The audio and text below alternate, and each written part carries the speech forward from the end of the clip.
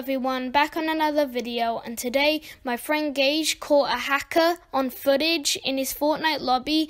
The hacker was level 999 and um, the link to the original video will be in the description below and guys this is not clickbait, this is all real footage and yeah, hope you guys enjoy. Yo, put it on something. Look what I put in chat. Look what I put in chat. Look what I put in chat. He disconnected. He disconnected. He. Oh my god. He disconnected. Bro, that's crazy. He got banned.